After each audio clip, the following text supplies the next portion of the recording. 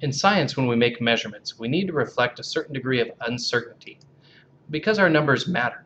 In science, each number represents a measurement. So we want to be certain that when we write a number down, it represents a measure that we either have taken or could take in a lab if we ever want someone to repeat our experiment. When we measure, we're limited by the tools that we use. There's no way for me to cut a piece of pie exactly in half. So when I talk about something being half of a pie, I should reflect in that number some degree of estimation. There's no such thing as a perfect measurement. There's always a limit. For example, when I'm using a ruler, I'm limited to the smallest measurement on that ruler. In this case, each line represents 0.1 centimeters. So if I'm going to measure the length of that green arrow, I need to estimate one space beyond the 0.1 centimeter to show that in fact my green arrow extends past one line but doesn't quite reach the next. And because in this case the arrow extends beyond the fifth small line but not quite to the sixth, I could estimate that it's somewhere between 0.5 and 0.6, 0.57 centimeters. Now maybe you looked at that and you thought 0.58. That's okay. Or 0.56. Again, not a problem. As long as you make sure that your measurement expresses one estimated digit. In my case, the seventh. So what's the right measure? Well, a lot of cases are going to depend on what the measuring device we use will allow us to actually record. In this case, my ruler again has tenths of centimeters. So which of these four measurements will reflect the length of the tan piece of paper? Let's see, 12 centimeters? We know it's beyond 12 and not quite to 13. We've got the ability to estimate even farther because I have tenths of centimeters marked on this ruler. So 12.7 it does look like it's right, on, right at that line. I'm pretty tempted to write 12.7. But remember, since I have tenths marked, I have to estimate one space beyond it. Now I'm pretty convinced it's right at that 7 line. So I'll write 12.70. The 0 is an estimate.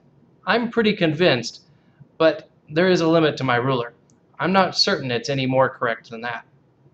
Maybe I'm really convinced, and I'm tempted to throw an extra 0 on there, 12.700 centimeters as if each zero gives me some sort of extra believability. Well, it's tempting. It's done a lot in marketing and advertising and sales, but it isn't done in science.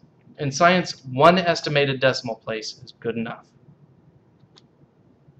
When we're using a graduated cylinder, we've got one milliliter markings to work with, in most cases. I'm going to estimate then to the nearest 0.1 milliliter. And using a graduated cylinder, I'm going to measure from the meniscus. That's the center of the liquid curve. In most of the cases, that curve is going to be like water, where the water curves up at the edges. If we needed to measure something like mercury, where the curve would be the other way, and our meniscus were to be at the top of that curve, we'd use a graduated cylinder designed for that sort of fluid. In this case, it's above the ninth line, so I know it's past 9 milliliters. Not exactly to the tenth, so I'm going to guess 9.7 milliliters. Now I use the word guess. I'm very confident about the 9. The 7, that's the estimated part. Every science measurement has an estimate. It's not a blind guess. I'm pretty certain I'm more than halfway past the, uh, the 9 to 10 milliliter range there. The 7 is an estimate though. And because that last digit is an estimate, anytime someone wants to repeat my work, all they have to do is have a graduated cylinder that has milliliter markings and they have to fill it to what they think the 7 will be.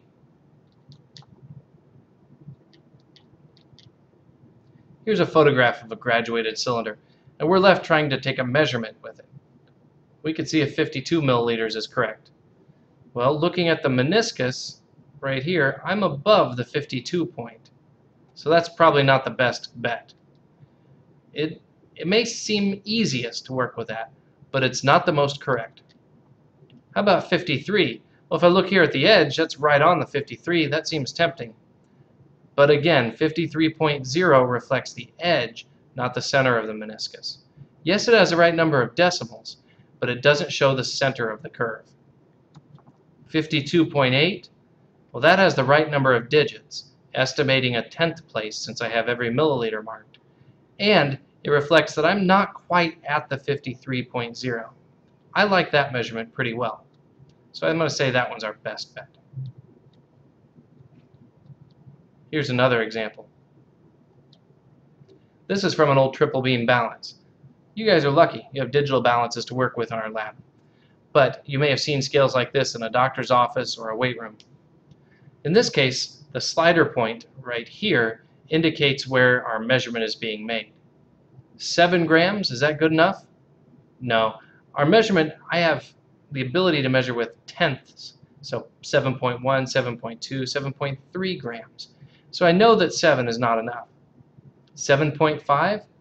Well, I do have every tenth of a gram marked on this, but I'm a little past the 7.5.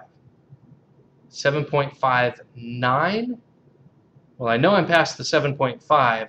The 9 is kind of a guess, but that's okay. Remember, we want an estimate, an intelligent guess on our last digit.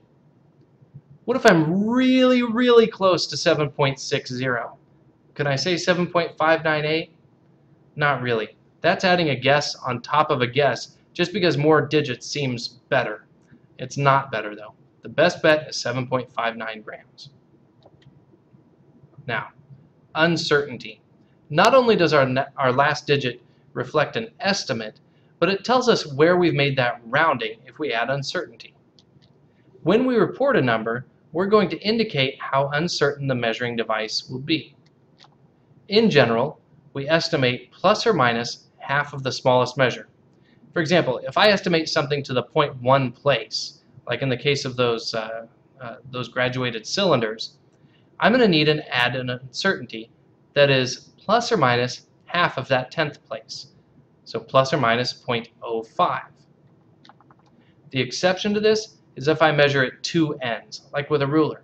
It seems like we only measure at one end because that's where we're looking when we're trying to read a number. But remember, we line up a zero point at the other end, and we have to make some estimation there as well. So we have a degree of uncertainty at both ends. Just like before, we're still doing plus or minus a half of the smallest measure, but we're doing that twice. So we have plus or minus the smallest measure, the half at each end. So here are some examples that we could look for our uncertainty. With a ruler, I measure something to be 0.57 centimeters. Well, remember, that's plus or minus the smallest digit value. In this case, that's the hundredth place. So I'm going to be plus or minus 0.01. That half of a thousandth place at the front of the ruler, the half of the thousandth place at the back ruler, giving me a, a whole hundredth place uncertainty there. With that same ruler, same sort of uncertainty. Just because my number value is bigger doesn't mean my uncertainty has changed much. With a graduated cylinder, I measure something at 9.7 milliliters. Now the graduated cylinder only has a measurement at one end, so I estimate an uncertainty of plus or minus 0.05. Because we have the tenth place in our measurement, we estimate 0.05, that half of a hundredth, or pardon me, the half of the thousandth, the 0.05 hundredth there. With a graduated cylinder again, 52.8, it's really only that eighth and the tenth place that I need to determine for my uncertainty of plus or minus 0.05 to show where the rounding occurred. With a digital balance, we measure 7.59 grams. And you may think, well, it's a digital balance, those things are perfect. Not true. The digital balance is still estimating somewhere between 7.60 and 7.58 so we need to make an estimate of 0.005 plus or minus to indicate where that rounding has happened. That's how uncertainty works. And every time we record a measurement in our IB chemistry class, we're going to record an uncertainty. We'll talk a little bit more next time about how we use this to make some mathematical calculations because we've got to account for those numbers in our calculations. One other thing I want to touch on today are IB units. These are how we record derived units in IB Sciences. There are some standards that have been agreed upon. One of those standards has to do with volume. For volume measurements, we're not going to use liters or milliliters in our reports. We're going to refer to liters as cubic decimeters from now on. And milliliters will trade for cubic centimeters. The two sets of values are equivalent. Liters equals a cubic decimeter, and milliliter equals a cubic centimeter. This allows for some mathematic conversions to go on later when we're trying to derive other units.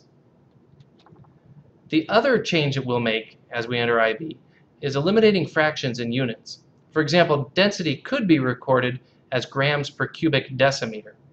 But instead, we're going to write this as grams times decimeters to the negative third. The negative third means the same thing as the decimeters cubed on the bottom of a fraction, but this allows us to eliminate some mathematical error later on within our units. It's a habit that we're going to get into, and it's a standard that we're going to stick with. I hope this has helped with uncertainty. Let me know if you need a little more guidance.